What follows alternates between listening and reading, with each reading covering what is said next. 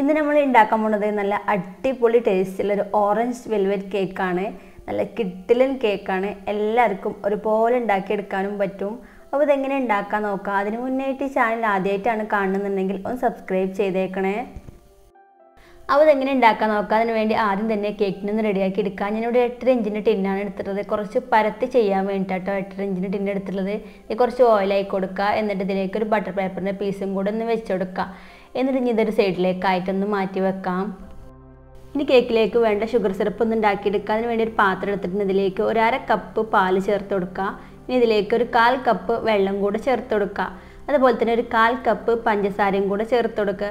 കാൽ കപ്പ് പഞ്ചസാര മതിയാവും കേട്ടോ ഷുഗർ സിറപ്പ് ഉണ്ടാക്കാനായിട്ട്. ഇതിലേക്ക് ഇത്രയും വലിപ്പമുള്ള ഒരു പീസ് പട്ടയും കൂടെ ചേർത്തിട്ട് ഇതെല്ലാം കൂടെ നന്നായിട്ടൊന്ന് തിളപ്പിച്ചിട്ടെടുക്കുക. ഇതിപ്പോൾ നല്ലോണം തിളച്ച് വന്നിട്ടുണ്ട്. ഇനി തീ ഒന്ന് ഓഫ് ചെയ്തിട്ട് ഇനി തണുക്കാനായിട്ട് മാറ്റി വെക്കാം. ഇനി കേക്കിലേക്ക് വേണ്ട മൈദ മിക്സ് നരിച്ചെടുക്കാൻ വേണ്ടി ഒരു ബൗളിന് മുകളിൽ അരിപ്പ് വെച്ചിട്ടുണ്ട്. ഇതിലേക്ക് ഇരുന്നൂറ്റി അമ്പത് എം എല്ലിന്റെ കപ്പിൽ ഒരു കപ്പ് മൈദ ചേർത്ത് കൊടുക്കുക മൈദ എടുക്കുമ്പോൾ എപ്പോഴും ലെവലാക്കിയിട്ട് തന്നെ എടുക്കുക കേട്ടോ. ഇനി ഇതിലേക്ക് ഒരു ടീസ്പൂൺ ബേക്കിംഗ് പൗഡറും അതുപോലെ തന്നെ ഒരു കാൽ ടീസ്പൂൺ ബേക്കിംഗ് സോഡയും കൂടെ ചേർത്ത് കൊടുക്കുക എന്നിട്ട് എല്ലാം കൂടെ നന്നായിട്ടൊന്ന് അരിച്ചിട്ടെടുക്കുക മൂന്ന് പ്രാവശ്യം അരിക്കുകയാണെങ്കിൽ അങ്ങനെയും ചെയ്യാം കേട്ടോ. ഇനി അരിപ്പൊന്ന് മാറ്റി വെച്ചിട്ട് വിസ്ക് വെച്ചിട്ട് നന്നായിട്ട് മിക്സ് ചെയ്ത് കൊടുക്കുക എല്ലാതും ഒരുപോലെ മിക്സായി കിട്ടാൻ വേണ്ടിയിട്ടാണ്. നല്ലോണം മിക്സ് ചെയ്ത് കൊടുത്തിട്ട് ഇതൊരു സൈഡിലേക്കായിട്ടൊന്ന് മാറ്റി വെക്കാം. ഇനി മറ്റൊരു ബൗളിൽ നാല് മുട്ട പൊടിച്ച് വെച്ചിട്ടുണ്ട് ഇതിലേക്ക് ഒരു ടീസ്പൂൺ വാനില എസൻസും കൂടെ ചേർത്ത് കൊടുത്തിട്ട് ബീറ്റിന്റെ ഫുൾ സ്പീഡിലിട്ട് നല്ലോണം സ്റ്റിഫായി കളറൊക്കെ ഒന്ന് ചേഞ്ച് ആയി വരുന്നവരെ തന്നെ ബീറ്റ് ചെയ്തിട്ട് എടുക്കുക ഓരോരുത്തരുടെ ബീറ്റിനനുസരിച്ച് വ്യത്യാസം വരും കേട്ടോ അതാണ് സമയം കറക്റ്റായിട്ട് പറയാത്തത്. ഇതിപ്പോൾ നല്ലോണം സ്റ്റിഫായി കളറൊക്കെ ഒന്ന് ചേഞ്ചായി വന്നിട്ടുണ്ട്. ഇനി ഇതിലേക്ക് ഒരു അര കപ്പ് പഞ്ചസാര ചേർത്ത് കൊടുക്കാൻ ഇവിടെ പൊടിക്കാത്ത പഞ്ചസാരയാണ് എടുത്തിട്ടുള്ളത്. ഇനി പൊടിക്കാതെ പഞ്ചസാര മെൽറ്റായി കിട്ടാൻ ബുദ്ധിമുട്ടാണെന്നുണ്ടെങ്കിൽ ഈ അരക്കപ്പ് കപ്പ് മിക്സിയിലിട്ടൊന്ന് പൊടിച്ചെടുത്താൽ മതിയാകും. ഇത് കുറച്ച് കുറച്ചായിട്ട് ചേർത്തിട്ട് നല്ലോണം മെൽറ്റായിട്ട് വരുന്നവരെ ബീറ്റ് ചെയ്തിട്ടെടുക്കാം അപ്പോൾ ഇതാ പഞ്ചസാരയൊക്കെ നല്ലോണം മെൽറ്റായിട്ട് നല്ലൊരു കളറായിട്ട് വന്നിട്ടുണ്ട്. നല്ലോണം സ്റ്റിഫായിട്ട് കിട്ടിയിട്ടുണ്ട്. ഇനി ഇതാ ഇതുപോലെ ഉണ്ടോ ബാറ്റർ കിട്ടേണ്ടത്? ഇനി ഇതിലേക്ക് ഒരു രണ്ട് ടേബിൾ സ്പൂൺ സൺഫ്ലവർ ഓയിലും കൂടെ ചേർത്ത് കൊടുക്കുക ഇനി ഇതിലേക്ക് ഓറഞ്ച് കളർ ചേർത്ത് കൊടുക്കുക. ഞാനിവിടെ മാജിക് കളേഴ്സിന്റെ ഓറഞ്ച് കളറാണ് കേട്ടോ എടുത്തിട്ടുള്ളത്. ഇത് അത്യാവശ്യം നല്ല കളർ കിട്ടും. ഞാൻ ഒരു ടീസ്പൂൺ ചേർത്ത് കൊടുക്കുന്നുണ്ട്. ഇത് കറക്റ്റാണ് കേട്ടോ അത്യാവശ്യം നല്ല കളർ കിട്ടും. ഇനി ബീറ്റിന്റെ ലോ സ്പീഡിൽ ഇട്ടിട്ട് എല്ലാം കൂടെ ജസ്റ്റ് ഒന്ന് മിക്സ് ചെയ്ത് കൊടുക്കുക. കളറൊക്കെ എല്ലായിടത്തേക്കും ഒന്ന് മിക്സായി കിട്ടിയാൽ മാത്രം മതി. ഒരുപാടൊന്നും ബീറ്റ് ചെയ്തെടുക്കേണ്ട ആവശ്യമില്ല. പിന്നെ പൊടികളൊക്കെ ചേർക്കുമ്പോൾ മിക്സ് ആയിട്ട് കിട്ടിക്കോളും. ഇനി ഇതിലേക്ക് നേരത്തെ അരിച്ച് വെച്ചിട്ടുള്ള മൈദ മിക്സ് കുറച്ച് കുറച്ച് അരി ചേർത്തിട്ടൊന്ന് ഫോൾഡ് ചെയ്ത് കൊടുക്കുക. ഏറ്റവും പതുക്കെ സമയം എടുത്തിട്ട് വേണം കേട്ടോ ഫോൾഡ് ചെയ്യാൻ. എന്നാൽ മാത്രമേ കേക്കിന് ഹൈറ്റ് കിട്ടുള്ളൂ. പിന്നെ ഫോൾഡ് ചെയ്യുമ്പോൾ ഒരേ ഡയറക്ഷനിൽ മാത്രം ഫോൾഡ് ചെയ്ത് കൊടുക്കുക. എന്നാൽ എന്നുണ്ടെങ്കിൽ കേക്കിൽ ഹോൾസ് വരും. അപ്പോൾ പിന്നെ കേക്കിന് ഹൈറ്റും കിട്ടൂല.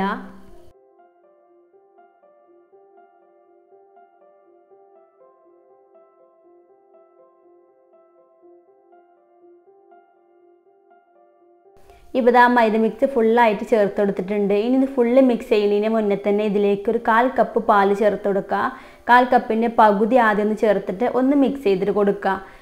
പിന്നെ പാലെടുക്കുമ്പോൾ എപ്പോഴും റൂം ടെമ്പറേച്ചറിലുള്ള തന്നെ എടുക്കുക. ഒരുപാട് തണുപ്പും പാടില്ല ചൂടും പാടില്ല. ഇനി ബട്ടർ മിൽക്ക് എടുക്കണവർക്ക് ബട്ടർ മിൽക്ക് ആക്കിയിട്ട് എടുക്കാം കേട്ടോ. ഞാനിവിടെ സാധാരണ നോർമലായിട്ടുള്ള പാലാണ് എടുത്തിട്ടുള്ളത്. എനിക്ക് കുറച്ചും കൂടി ടേസ്റ്റ് തോന്നിയിട്ടുള്ളത് നോർമൽ പാൽ വെച്ചിട്ട് ചെയ്യുമ്പോഴാണ്. ഇപ്പോൾ ഇതാ എല്ലാം നന്നായിട്ട് തന്നെ മിക്സാക്കി എടുത്തിട്ടുണ്ട്. ഇനി ഇത് ബേക്ക് ചെയ്യാനായിട്ട് വെക്കാം. ബേക്ക് ചെയ്യാനുള്ള നമ്മൾ നേരത്തെ റെഡിയാക്കി വെച്ചിട്ടുള്ള കേക്ക് ടീൻ ഉണ്ടല്ലോ. അതിലേക്ക് ബാറ്റർ ഫുള്ളായിട്ട് തന്നെ ഒന്ന് ചേർത്ത് കൊടുക്കുക ഇനി നന്നായിട്ടൊന്ന് ടാപ്പ് ചെയ്ത് കൊടുക്കുക ടാപ്പ് ചെയ്യുമ്പോൾ നല്ലോണം തന്നെ ടാപ്പ് ചെയ്യുക കേട്ടോ എന്നാലേ കേക്കിൽ ഒട്ടും ഹോൾസ് ഇല്ലാതെ കിട്ടുള്ളൂ. ഇനി ഇത് ബേക്ക് ചെയ്യാൻ വെക്കുക ബേക്ക് ചെയ്യാനുള്ള ഓവൻ സെറ്റപ്പ് ഇതാ ഇവിടെ റെഡി ആയിട്ടുണ്ട്. ഞാൻ ഒരു അഞ്ച് മിനിറ്റ് ലോ ഫ്ലെയിമിൽ പ്രീഹീറ്റ് ചെയ്തിട്ടുള്ളതാണ്. ഇത് ഞാനൊരു ബിരിയാണി ചെമ്പാണ് കേട്ടോ എടുത്തിട്ടുള്ളത്. ഇതിൽ റിങ്ങും കൂടെ വെച്ചെടുത്തിട്ടുണ്ട്. ഇനി ഇതിലേക്ക് നമ്മൾ ഉണ്ടാക്കി വെച്ചിട്ടുള്ള കേക്കിന്റെ ടിന്നൊന്ന് വെച്ചെടുക്കുക എന്നിട്ട് ഇനി അടച്ച് വെച്ചിട്ട് ലോ ഫ്ലെയിമിൽ ഒരു മുപ്പത്തഞ്ച് മിനിറ്റ് വരെ ബേക്ക് ചെയ്തിട്ടെടുക്കുക ഒരു ഓരോരുത്തരുടെ ഫ്ലെയിമിനനുസരിച്ച് വ്യത്യാസം വരും കേട്ടോ ഒന്ന് ശ്രദ്ധിച്ചാൽ മതി. ഇനി കേക്ക് ബേക്ക് ആവുന്ന സമയം കൊണ്ട് കേക്കിലേക്ക് വേണ്ട ക്രീം ഒന്ന് ബീറ്റ് ചെയ്തെടുക്കുക. ഞാനിതാ ഇവിടെ ഒരു ഒന്നേ മുക്കാൽ കപ്പ് ക്രീം എടുത്തിട്ടുണ്ട് കേട്ടോ നമ്മൾ വലിയ കേക്കിനുള്ള കേക്ക് ചെയ്തത്. അപ്പോൾ അത്യാവശ്യം ക്രീം വേണം. പിന്നെ ഡെക്കറേഷനൊക്കെ ചെയ്യുകയാണെങ്കിൽ അതിനനുസരിച്ച് ക്രീം എടുക്കാം കേട്ടോ ഇപ്പോൾ ഇതാ ക്രീം നല്ലോണം സ്റ്റിഫായിട്ട് കിട്ടിയിട്ടുണ്ട്. ഇനി ഇതിൽ ഫ്രിഡ്ജിലേക്കായിട്ടൊന്ന് മാറ്റി വെക്കാം.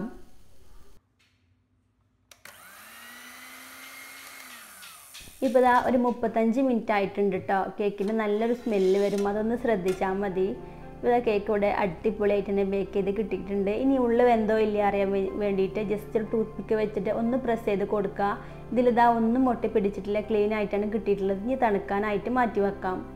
കേക്ക് ഇതാ ചെറുതായിട്ടൊന്ന് തണുത്ത് വന്നിട്ടുണ്ട്. ഒരുപാട് ചൂടാറാൻ വേണ്ടി വെയിറ്റ് ചെയ്യണ്ട കേട്ടോ ഇനി കേക്കിന്റെ സൈഡൊക്കെ ഒന്ന് കത്തി വെച്ചിട്ട് ഒന്ന് വിടിയിച്ച് കൊടുക്കുക എന്നിട്ട് ഇതിന് മുകളിൽ ഒരു പാത്രം വെച്ചിട്ട് ജസ്റ്റ് ഒന്ന് കമഴ്ത്തി കൊടുക്കുക എന്നിട്ട് ഒന്ന് ടാപ്പ് ചെയ്ത് കൊടുക്കുക ഇപ്പോൾ ഇതാ കേക്ക് സിമ്പിളായിട്ട് തന്നെ വിട്ട് കിട്ടിയിട്ടുണ്ട്. ഇനി ഇതിന്റെ ബട്ടർ പേപ്പറും കൂടെ ഒന്ന് റിമൂവ് ചെയ്ത് കൊടുക്കാം.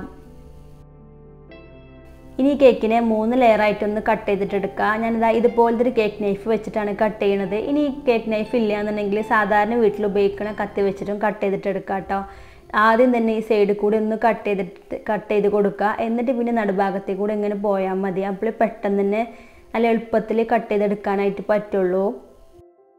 ഇനി രണ്ടാമത്തെ ലെയർ കട്ട് ചെയ്തതിന് ശേഷം ഞാനിതാ ഇത് നടുഭാഗത്തു നിന്നായിട്ട് ചെറിയൊരു പീസും കൂടെ കട്ട് ചെയ്തെടുക്കുന്നുണ്ട്. ഇത് ക്രംസ് ചെയ്യാൻ വേണ്ടിയിട്ടാട്ടോ ഇനി ഇതുപോലത്തെ ഡിസൈൻ ചെയ്യണില്ല എന്നുണ്ടെങ്കിൽ അങ്ങനെ കട്ട് ചെയ്തെടുക്കേണ്ട ആവശ്യമില്ല. ഇപ്പോൾ ഇതാ മൂന്ന് ലെയറും കൂടെ കട്ട് ചെയ്തെടുത്തിട്ടുണ്ട്.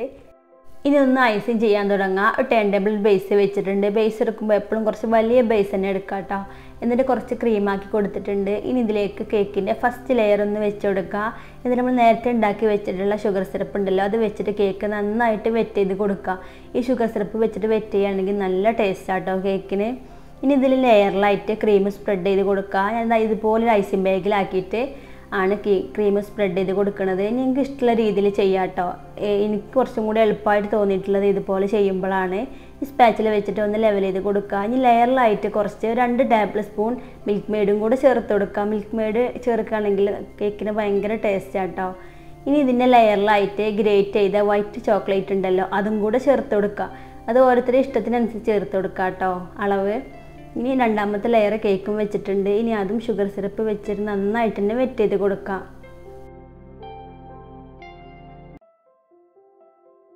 ഇനി നേരത്തെ ചെയ്ത പോലെ തന്നെ റിപ്പീറ്റ് ചെയ്യുക. ക്രീം ഒന്ന് സ്പ്രെഡ് ചെയ്ത് കൊടുക്കുക.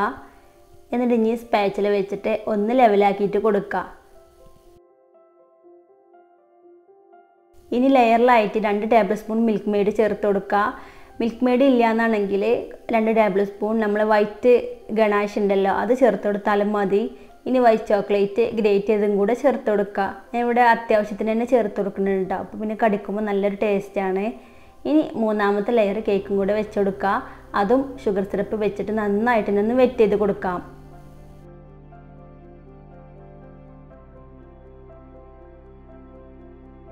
ഇനി ഏറ്റവും മുകളിലായിട്ട് ക്രീം സ്പ്രെഡ് ചെയ്ത് കൊടുക്കുക. ഇനി ക്രം കോട്ട് ചെയ്യുന്നവർക്ക് അങ്ങനെ ചെയ്യാം കേട്ടോ ഞാനിവിടെ ക്രം കോട്ട് ചെയ്യാതെയാണ് ചെയ്യുന്നത്. അപ്പോൾ ആദ്യമായിട്ടൊക്കെ കേക്ക് ഉണ്ടാക്കി നോക്കുന്നവർ ക്രം കോട്ട് ചെയ്തിട്ട് ചെയ്യാം കേട്ടോ ഒന്നും കൂടെ നല്ലത്. ഇത് ആ സ്പാച്ചിൽ വെച്ചിട്ട് ഒന്ന് ലെവലാക്കി കൊടുത്തിട്ടുണ്ട്. ഇനി ഈ സൈഡിലുള്ള ക്രീം ജസ്റ്റ് സ്പാച്ചിൽ വെച്ചിട്ട് സൈഡിൽ തന്നെ ആക്കിയിട്ട് ഒന്ന് ലെവലാക്കിയിട്ട് കൊടുക്കുക. ഇനി ഇതാ ഇതിന്റെ കേക്കിന്റെ സൈഡിലും ഇതുപോലെ തന്നെ ഒന്ന് ക്രീം ആക്കി കൊടുക്കുക. ഐസിങ് ബാഗിലാക്കിയിട്ട് ജസ്റ്റ് ടേൺ ടേബിൾ ഒന്ന് തിരിച്ച് കൊടുത്താൽ മതി. ഇപ്പോൾ ഇതാ ഫുള്ളായിട്ട് ക്രീം വെച്ചിട്ട് കോട്ട് ചെയ്തിട്ടുണ്ട്. ഇനി സ്പാച്ചിൽ വെച്ചിട്ട് എല്ലാം കൂടെ നന്നായിട്ട് തന്നെ ഒന്ന് ലെവലാക്കിയിട്ട് കൊടുക്കുക. ഇതുപോലെ ആദ്യമായിട്ടൊക്കെ ചെയ്യുന്ന പോലാണെങ്കിൽ സ്പാച്ചിനെക്കാട്ടും ഒന്നും കൂടെ നല്ലത് സ്കേപ്പർ വെച്ചിട്ട് ചെയ്യാം കേട്ടോ ഇനി സ്കേപ്പർ വെച്ചിട്ട് കേക്കിന്റെ സൈഡ് ഒന്ന് ഫിനിഷ് ആക്കിയിട്ട് എടുക്കുക ഞാനത് ഇതുപോലത്തെ ഒരു കാർഡാണ് കേട്ടോ എടുത്തിട്ടുള്ളത്. ഇതുപോലത്തെ കാർഡ് വെച്ചിട്ട് ചെയ്യുകയാണെങ്കിൽ നന്നായിട്ട് തന്നെ ഫിനിഷ് ആയിട്ട് കിട്ടാറുണ്ട്. ഇനി മുകൾ ഭാഗവും മുകൾ ഭാഗത്ത് പൊന്തി നിൽക്കുന്ന ക്രീമും കൂടെ നടുഭാഗത്തേക്ക് ആക്കിയിട്ട് ഒന്ന് ആക്കി കൊടുക്കുക.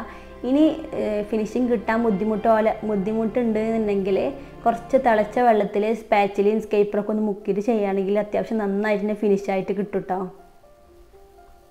ഇപ്പോൾ ഇതാ കേക്ക് ഓൾമോസ്റ്റ് ഒന്ന് ഫിനിഷ് ചെയ്തെടുത്തിട്ടുണ്ട്.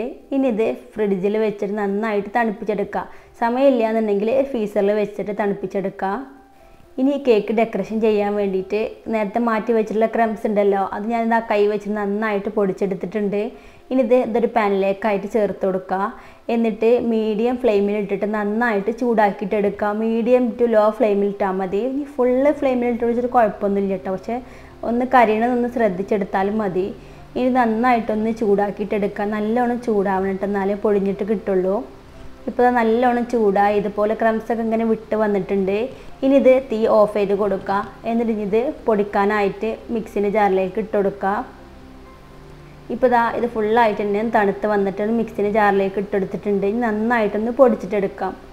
ഇപ്പോൾ ഇതാ നല്ല ഫൈനായിട്ട് തന്നെ പൊടിച്ചെടുത്തിട്ടുണ്ട്. ഇപ്പോൾ ഇതാ കേക്ക് രണ്ട് മണിക്കൂറിന് ശേഷം ഞാനിവിടെ ഫീസറിൽ നിന്ന് പുറത്തെടുത്തിട്ടുണ്ട് കേട്ടോ ഇനി ഇതിന്റെ മുകളിൽ അരിപ്പ് വെച്ചിട്ട് നേരത്തെ പൊടിച്ചെടുത്തുള്ള ക്രംസ് ഉണ്ടല്ലോ അത് ഈ അരിപ്പിലേക്ക് ഇട്ട് കൊടുത്തിട്ട് ഇതുപോലെ മുകളിൽ ഇങ്ങനെ തട്ടി കൊടുത്താൽ മതി. ഇനി ഇങ്ങനെ തട്ടിയിട്ട് പോരില്ല എന്നുണ്ടെങ്കിൽ ജസ്റ്റ് കൈ വെച്ചിട്ട് ഒന്ന് പ്രസ് ചെയ്ത് കൊടുക്കുമ്പോൾ ഒന്ന് ഇങ്ങനെ ഇതാ ഇതുപോലെ ഒന്ന് ഒരുതി കൊടുക്കുമ്പോൾ അത് സിമ്പിളായിട്ട് തന്നെ കേക്കിലേക്ക് ചാടിയിട്ട് വരും കേട്ടോ ഇപ്പോൾ ഇതാ അത് ഫുള്ളായിട്ട് തന്നെ ചെയ്തെടുത്തിട്ടുണ്ട്. ഇനി ഇതാ ഈ സൈഡിലേക്കായിട്ട് വീണിട്ടുള്ള ക്രംസ് ഉണ്ടല്ലോ അത് ഈ കേക്കിന്റെ സൈഡ് ഒന്ന് കവർ ചെയ്ത് കൊടുക്കുക ഇതുപോലെ സ്പാച്ചിൽ വെച്ചിട്ട് കവർ ചെയ്യുകയാണെങ്കിൽ നല്ല എളുപ്പം തന്നെ കവർ ചെയ്യാനായിട്ട് പറ്റും കേട്ടോ ഇനി ഇത് ഫുള്ളായിട്ട് ഇതുപോലെ തന്നെ ചെയ്തിട്ടെടുക്കുക ഇനി ഞാൻ ഈ കേക്കിൽ ക്രീം ചീസിന്റെ ഫ്രോസ്റ്റിംഗ് ചെയ്തിട്ടില്ല കേട്ടോ അപ്പോൾ ഇനി ക്രീം ചീസ് ഫ്രോസ്റ്റിംഗ് ചെയ്യണമെന്നുണ്ടെങ്കിൽ ഞാൻ ബ്ലൂ വെൽവെറ്റിന്റെ കേക്ക് ചെയ്തപ്പോൾ അതിൽ ചെയ്തിട്ടുണ്ട് കേട്ടോ ക്രീം ചീസ് അപ്പോൾ അതൊന്ന് പോയിട്ട് കണ്ടാൽ മതി ആവശ്യമുള്ളവർ